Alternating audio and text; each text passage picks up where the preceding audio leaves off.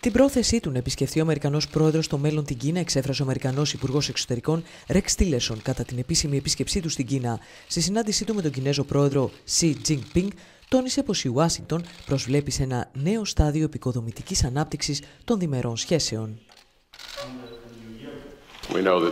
Γνωρίζουμε ότι μέσω του διευρυμένου διαλόγου θα επιτύχουμε μια καλύτερη κατανόηση που θα οδηγήσει στην ενίσχυση των δεσμών μεταξύ της Κίνας και των Ηνωμένων Πολιτειών και θα δώσει τον τόνο για τη μελλοντική μας σχέση συνεργασίας. Ιδιαίτερα παραγωγικές ήταν οι συζητήσεις των δύο πλευρών για τη Βόρεια Κορέα, προσβλέποντας σε μια ειρηνική διευθέτηση της κατάστασης.